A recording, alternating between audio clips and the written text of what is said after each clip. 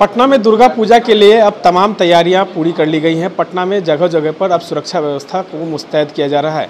वहीं पटना की ट्रैफ़िक व्यवस्था को लेकर अब तमाम चीज़ें जो हैं, वो सुदृढ़ की जा रही हैं। बता दें, जिस तरीके से ट्रैफ़िक व्यवस्था में बदलाव किया गया है, क्योंकि अब लोग जो है, वो सड़कों पे उतरेंगे, काफ़ी जाम का माहौल रहेगा दुर्गा पूजा में। इसको लेकर तमाम जगहों पर ट्रैफ़िक व्यवस्था को भी जो है, कई रूट को बदला भी गया है। अब पटना में एक नई पहल जो हर बार रहती थी, पटना के तमाम जो एनसीसी कैडेट्स हैं, वो सड़कों पर उतरेंगे और वो ट्रैफ़िक जो है व्यवस्था को संभालेंगे। साथ ही साथ क्राउड कंट्रोलिंग की भी व्यवस्था वो देखेंगे। हमारे साथ इस तमाम व्यवस्था को देखने के लिए एनसीसी और एनसीसी उड़ान और कम्युनिटी ट्रैफ़िक पुलिस के संयोजक जो हैं, धीरज जी मौजूद हैं।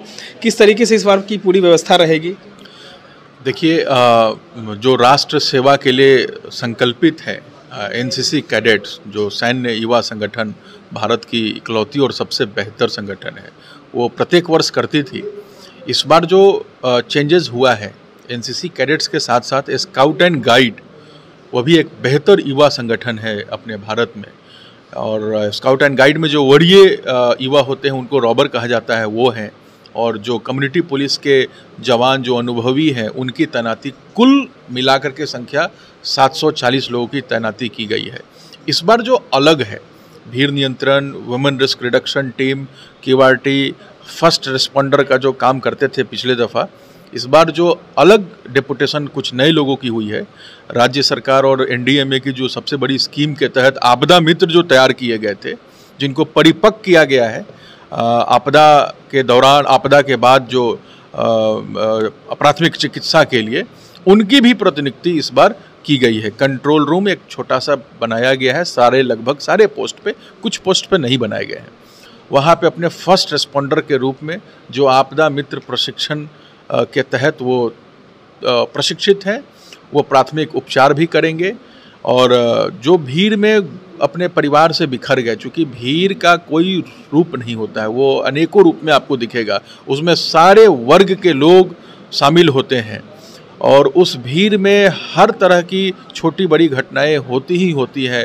कभी आपका पॉकेट से पर्स गायब कर दिया जाएगा, चैन स्नैचिंग हो जाएगा, फिर आप अपने परिवार से बिखर जाएँगे आपको फिर चक्कर आने लगेगा, कभी किसी चीज़ से हाथ कट गया, ये सब चीज़ें होते रहती हैं तो इन सभी चीज़ों को टैकल करना सबसे प्राथमिक हमारा प्राथमिकता है।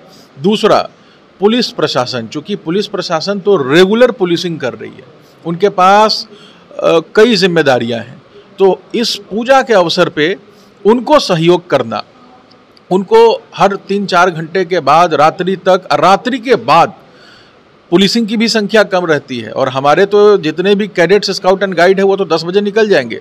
एक्चुअल भीड़ 10 बजे के बाद आता है पटना में। तो पूरी रात्रि के लिए लगभग 200 अनुभवी कम्युनिटी ट्रैफ़िक पुलिस की प्रतिनियुक्ति की गई है जो पूरी रात जग के भीड़ नियंत्रण और इन सभी कार्यों में ध्यान देंगे। इन तमाम जो वॉलेंटियर हैं इन लोगों को क्या पैसा दिया जाता है? प्योर वॉल्टियर ही है। ये प्योर वॉल्टियर ही है। यही सबसे खूबसूरत बिहार के युवाओं का एक छवि है जो पूरे भारत में कीर्तमान है कि पिछले सात आठ वर्षों से कम्युनिटी पुलिसिंग के तहत निशुल्क वॉल्टियरी सर्विस दे रहे हैं।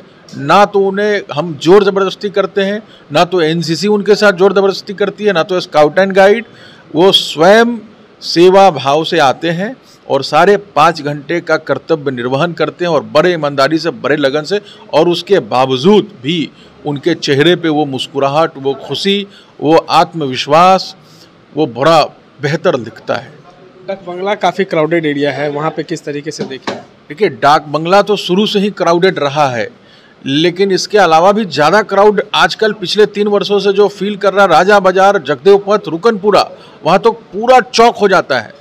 क्योंकि सब लोगों की नज़र डाक बंगला पे रहती है तो ऑलरेडी उस पर री इतनी बेहतर व्यवस्था रहती है कि वहाँ पे कंट्रोल हो जा रहा है। लेकिन जो नई पुल का निर्माण हो रहा और आबादी में वृद्धि होना, शेखपुरा से लेकर के, डुमरी चौकी से लेकर के, सगुना मोड़ तक, अब तो मेट्रो का काम चल रहा है, और भीड़ तो वही आनी है। तो वो बड़ा चैलेंजिंग रहता है लेकिन उसको भी बड़ा खूबसूरत तरीके से ये कम्युनिटी पुलिस और पुलिस तो लगी ही रहती है। हम उनको असिस्ट करते हैं और कम्युनिटी पुलिस अपना पुलिसिंग करके बेहतर और सुगम इंतज़ाम करती है। इनका ड्रेस कोड एनसीसी कैडेट्स जो है बिल्कुल खाकी एनसीसी के यूनिफॉर्म में रहेंगे क्योंकि एनसीसी तीनों विंगों को दर्शाती है नेवी और एयरफोर्स तो नेवी का पोशाक उजला रंग का होता है वाइट कलर का और ग्रे कलर का एयरफोर्स का होता है। तो ये तीनों पोशाक एनसीसी के लिए डेडिकेटेड है। ये इनका ड्रेस कोड हुआ। दूसरा स्काउट एंड गाइड का भी ग्रे होता है और रॉबर जो स्काउट एंड गाइड के वरीय होते हैं, उनका भी ड्रेस कोड ग्रे ही होता है। और इसके अलावा जो कम्युनिटी पुलिस वाले हैं, वो हरे रंग के टी शर्ट पे आपको दिखेंगे। हरे रंग की टी शर्ट इसलिए क्योंकि ये क्राउड कंट्रोल के लिए जाने जाते हैं। तो बहुत कॉम्प्लिकेटेड शर्ट पैंट का इस्तेमाल नहीं किया जा सकता है। देखिए, तमाम जो व्यवस्थाएँ हैं और जो वॉल्टियर हैं, ये लोग यहाँ पे इन लोग की ब्रीफिंग चल रही थी और इस दौरान जो है अब इन लोग को ट्रेनिंग दिया जा रहा है कि किस तरीके से तमाम चौक चौराहा पर ट्रैफ़िक को सुगम बनाएँ क्राउड कंट्रोल करें और जो